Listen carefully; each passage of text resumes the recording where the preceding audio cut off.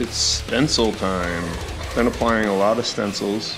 Kind of cross-eyed right now, not gonna lie. Um, it does turn out though. If you take your time with this and you go slow, make sure you're doing exactly what you want.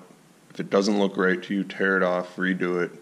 Just take your time. I think it'll be a lot better in the long run. Some things I, I want to show you.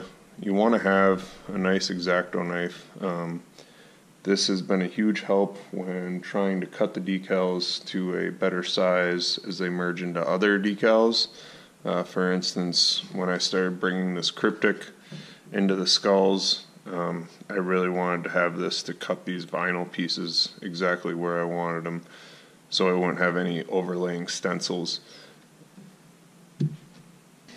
The upper and the lower I don't know. I they're they're semi complete. You can see where I've brought the skulls in from here, which will merge into the handguard, and I'm pretty happy with the way it turned out. Taking a closer look at these Freedom stencil kits, you can see the detail is just phenomenal. I mean, they do a great job. And like I said earlier in my other videos, these are a high heat stencil. They will take the heat. They do, you know, you can see how well they stretch. You know, they stretch around corners and things like that. So, this is just a big mess of them. You can imagine when you have just like a, like for instance, you know, you have just a thin line. Look at how much that stretches before it breaks. So you can really, really manipulate and move these around wherever you want. The uh, there's a rifle kit and then a pistol kit when it comes to how they sell them to you. I bought two pistol kits because I didn't realize I was doing it first, but this is the size of a pistol kit with two pages. So what I ended up doing was getting four total pages of Kryptek camo. Um, I also got one skull camo page, and I got these two Grim Reaper ones. Uh, you're not probably going to be able to make that out in the light. But uh, I don't know what I'm gonna do with these. I might, I don't know, put them on a mug or something like that. Let's get back out to the garage. Let's spray this bad boy up. Let's see how it turns out. I'm gonna leave the uh, stencils on for the baking process because with this Magpul, remember I talked to you guys in the first video, Magpul had no idea what temperatures and time limits this polymer could hold up with. I did 10 minutes in, 10 minutes out, 10 minutes in, 10 minutes out, 10 minutes in. Temperature of 350 degrees, and I got no melting at all. It's a really good thing to know if you guys start to do this Magpul polymer gun coating. 350 degrees is okay, at least it was on this PRS Gen 3 buttstock. Uh, like I said, 10 minutes in, 10 minutes out, 10 minutes in, 10 minutes out. Welcome back to the garage guys. Uh, we're going to go over the uh, process of spraying after we've stenciled here our buttstock, um, the Magpul PRS Gen 3. Getting started, I'm going to, you can see some of these stencils kind of lift up after a while. Uh, what we're going to do, and I'm hoping it's going to help, is we're going to preheat this again just like we did when we did our base coat. Only 200 degrees, only probably for about 15 minutes and then when it comes back out I'm going to go ahead and push any lifting stencils down. Uh, hopefully that preheat process helps get them a little stickier tackier and uh, lay down a little bit better. One more thing I wanted to show you guys was the difference between a 4 ounce and an 8 ounce bottle of Gunkote um, this is your 4 ounce. Obviously it's smaller. This is your 8 ounce this is my base coat white. I've got a light gray, a dark gray, and also a brown in the 4 ounce that I'm going to use. Now, this base coat, 8 ounces, is pretty much gone.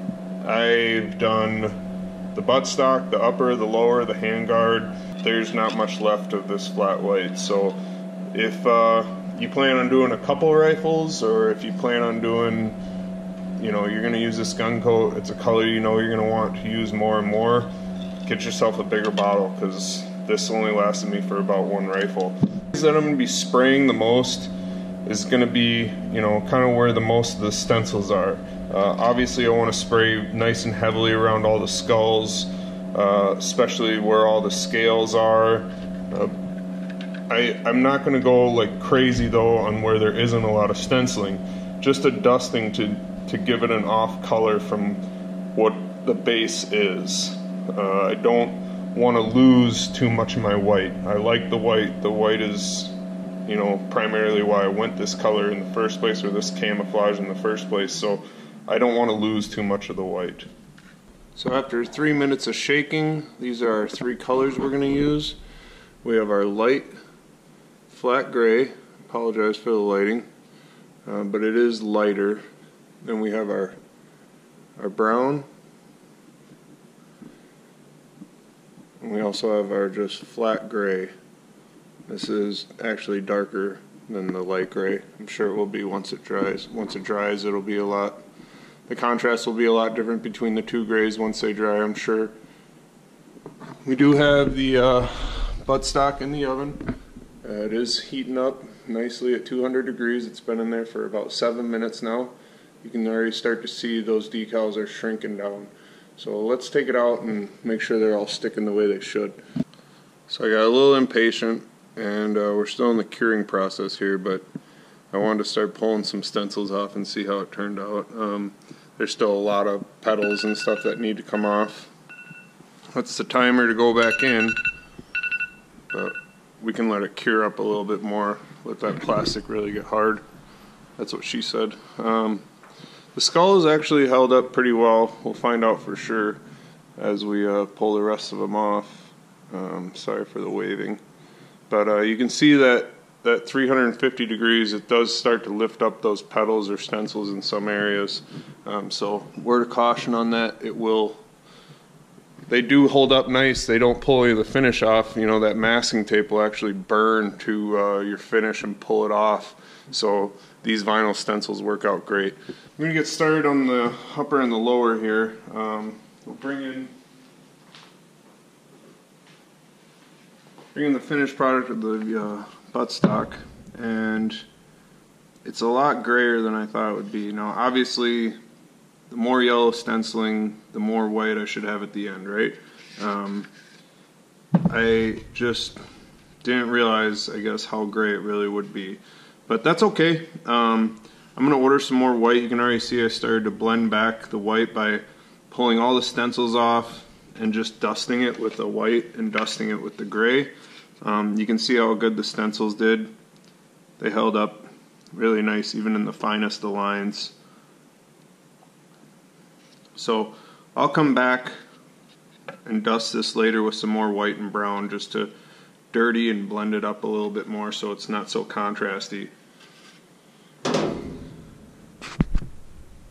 The upper and the lower, I went pretty heavy with stenciling, so we're going to have a lot more white this time around, um, which is good, which is what I want. So we're going to get started on that. Uh, we'll do a, I can't tell the difference between the dark gray and the light gray, um, so we're just going to go ahead and, you know, we'll do just the gray and see how that works. Preheat this guy uh, just before the stencils start really curling up because anywhere they're not making contact with the metal, they're going to start curling. Um, so we want to make sure that we press everything down before we get it in the oven. And then we're just going to warm it up enough for the Gunkote to really adhere. And we'll press the stencils down again before we start spraying. So here we go. Justice